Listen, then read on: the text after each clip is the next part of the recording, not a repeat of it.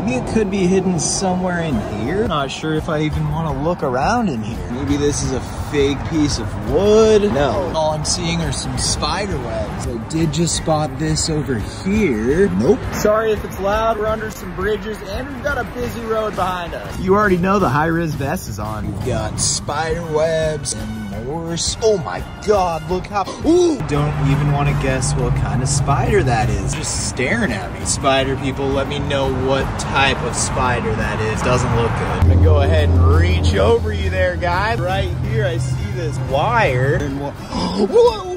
No! No! Are you kidding me? I wish I could say that was the first Black Widow I've spotted today. Burn the bridge. Burn it all down.